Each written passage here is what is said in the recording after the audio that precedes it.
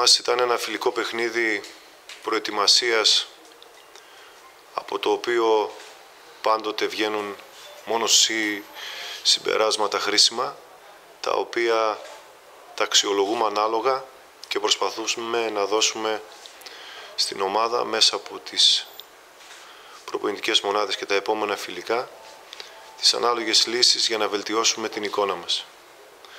Στο συγκεκριμένο παιχνίδι νομίζω ότι πρώτα απ' όλα υστερήσαμε πάρα πολύ στις μονομαχίες είτε ήμασταν κοντά στους αντιπάλους είτε πάρα πολλές φορές πηγαίναμε δεύτεροι επάνω στην μπάλα και έτσι ο αντίπαλος είχε χρόνο να βγάλει αρκετούς επιθετικούς αυτοματισμούς.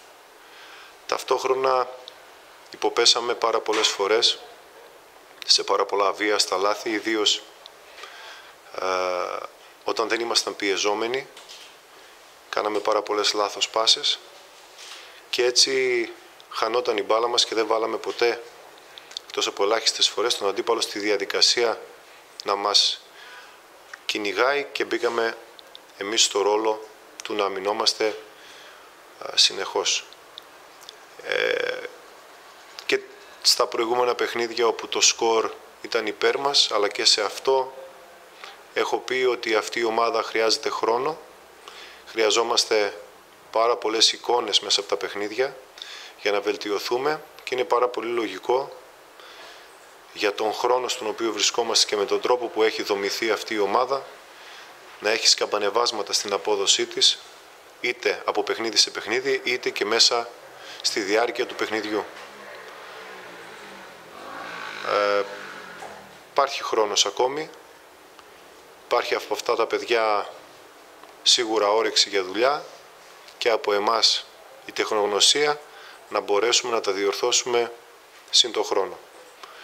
Ο αντίπαλος από την άλλη ήταν μια ομάδα αρκετά φρέσκια, πιο έτοιμη, που έδειξε καλύτερα στοιχεία από εμάς μέσα στο γήπεδο.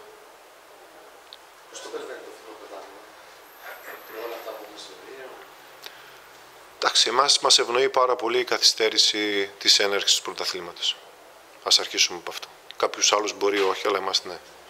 Από εκεί πέρα ένα πρωτάθλημα το οποίο λαμβάνει χώρα στην Ελλάδα και δεν μπορεί να έχει τίποτα διαφορετικό από ό,τι έχει κάθε χρόνο.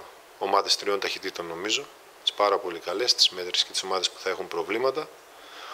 Όμως ε, μπορούμε να πούμε ότι και πιστεύω ότι θα έχουμε εκπλήξεις τόσο προς τα πάνω όσο και προς τα κάτω με ομάδες όσον αφορά την απόδοσή τους και την κατάταξη στον βαθμολογικό πίνακα. Είναι το πιο ενδιαφέρον coach ε, πρωτάθλημα των τελευταίων ετών με βάση ότι υπάρχουν καλές ομάδες στην ιστορία που δαπάνησαν αρκετά χρήματα για να ενισχυθούν και να προβάλλουν στα μεγάλα φαβορή.